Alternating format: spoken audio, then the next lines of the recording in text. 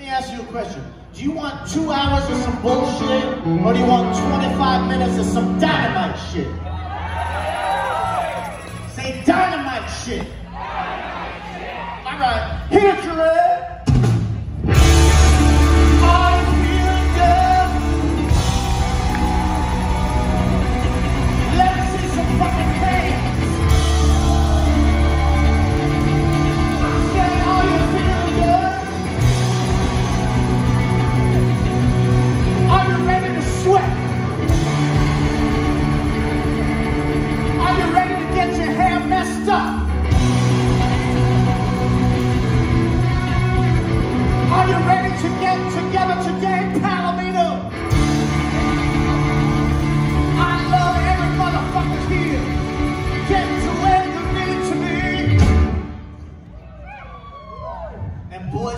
Girls of Southern California, or wherever the fuck you people are from, all I want is for you to do what you feel.